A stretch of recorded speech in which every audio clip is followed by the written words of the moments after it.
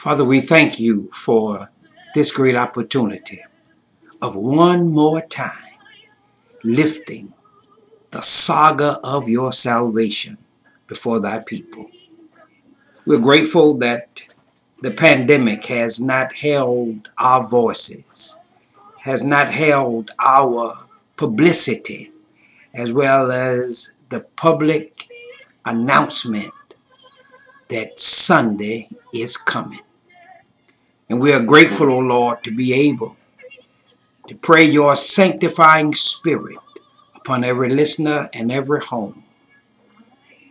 Their future, their walk, their talk with you and through you and because of you.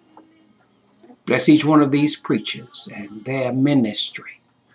And we pray, O oh Lord, that in the days to come, greater value shall come into the lives of others because of the precious gift of preaching, of teaching, of extolling that you have released over them, through them, and given us great hope because of them.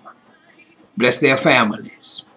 Bless their home. Bless their base now as they have justified why you called them. Walk with us now, talk with us now as we travel from this privileged position into the hedges and the highways, yet announcing, He lives.